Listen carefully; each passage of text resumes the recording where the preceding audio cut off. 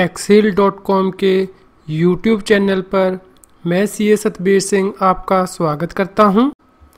Let discuss about rule 138 thirty A sub clause nine of GST rules which deals with cancellation of e-way bill that is how e-way bill can be cancelled where an e-way bill has been generated under this rule but the goods are either not transported or are not transported as per the detail furnish in the e-way bill The e-way bill may be cancelled electronically on the common portal either directly or through a facilitation center notified by the commissioner within 24 hours of generation of the e-way bill.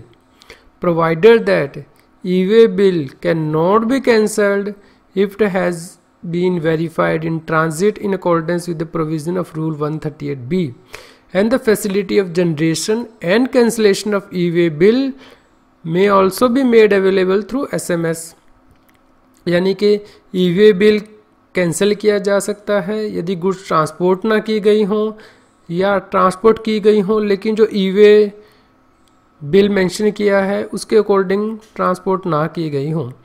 ये ई way bill को cancel किया जा सकता है। Common portal W W dot G S T G O V dot in पर directly या फिर facilitation centre पर भी इसे कैंसिल किया जा सकता है। लेकिन कैंसिलेशन 24 आवर के अंदर ही आपको करना होगा। लेकिन यदि ई वे बिल जो आपने जनरेट किया है, उसको ट्रांजिट में किसी ऑफिसर ने वेरीफाई कर लिया है तो उसके बाद ई वे बिल कैंसिल नहीं किया जा सकता है।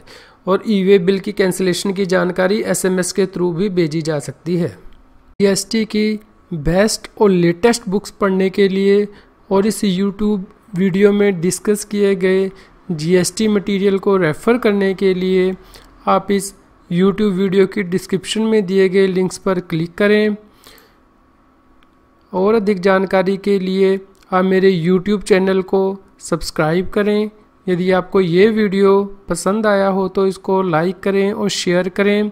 अधिक जानकारी के लिए आप मेरी वेबसाइट www.taxheal.com पर विज़िट करें। Thank you.